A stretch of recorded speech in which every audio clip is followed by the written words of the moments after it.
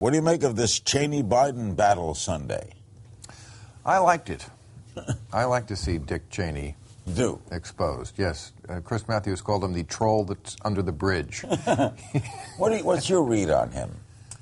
On Dick Cheney?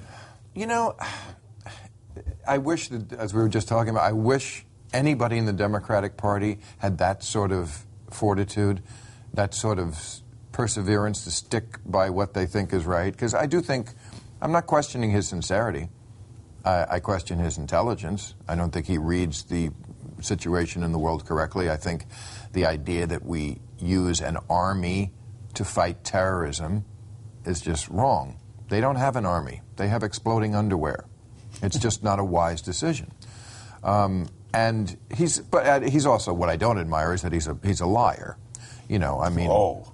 Yes, he is. He just missed. Joe Biden had that correct. You know, for for him to go after the Democrats for treating terrorists the exact same way that his administration did, and of course, The to tr- to- yeah, to- many any of them, they were all tried in courts in America, and all put away.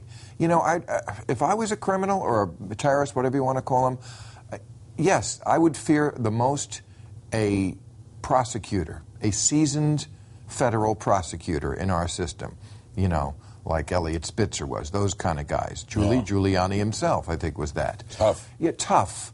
And there's a reason why they've put them all away. And the reason why they will they will never get out of prison because if there's one thing we can still do in this country it's put people in prison and keep, keep them there So you favor a civilian trial for the guy responsible for 9 11 yeah in, in Manhattan, where it happened? in manhattan i you know i i don't understand this at But all Obama seems to be backing off that a little. Again, that's so typical of the Democrats. As soon as anybody screams at all, one little squeak out of anybody, okay, sorry, you're right, we'll do the opposite, backs off but of it. New what they never have changed. Schumer changed. but what, Bloomberg what the changed. Democrats never understand is that Americans don't really care what position you take. Just stick with one.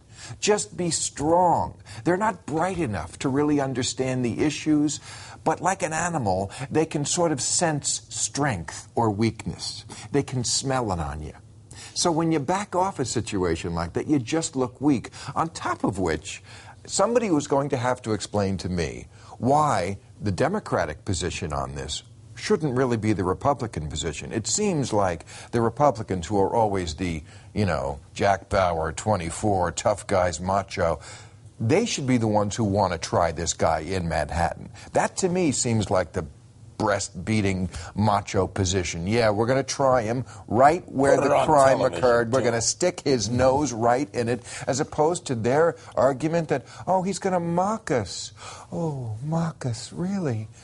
That's, that's cowardly to me to be afraid of. No. We have a blog question for Bill Maher. Do you think it's socialism for the government to take over health care to make sure that every American can afford to have it? You think that's socialism? Of course, it's not socialism. Oh, God. Americans have no clue what socialism is. They just know it's something super terrible. uh, no, first of all, you know, we have socialism already in this country, as does every modern Social democracy. Security is socialism. Yes, of course it is, and so is the Marine Corps. You know, so is the mail.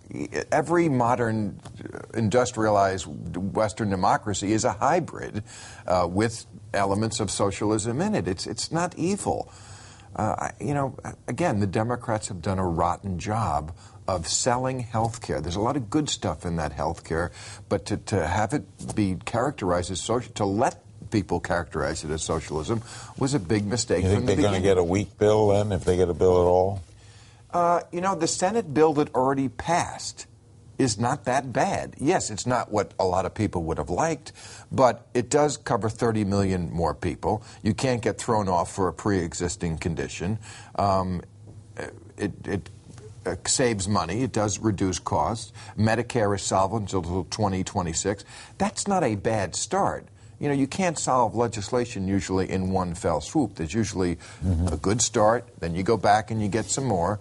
Um, why Obama just doesn't, you know, make tell the House to, you know, adopt the Senate bill, take it into reconciliation, and push this through instead of having this televised supposed love fest with the Republicans. Barry, they're just not into you. I keep telling them they just are not that into you.